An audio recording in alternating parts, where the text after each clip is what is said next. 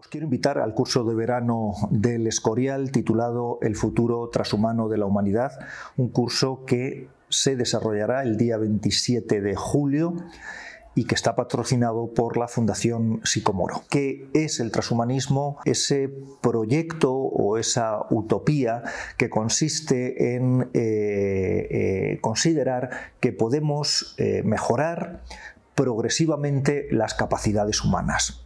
Algo que siempre se ha hecho. No estamos hablando de algo nuevo en la historia. Siempre hemos querido mejorar las capacidades humanas. También eh, queremos mejorar aquellas eh, capacidades naturales eh, con las que ya nos encontramos. Queremos ir más allá de lo que la naturaleza nos ofrece.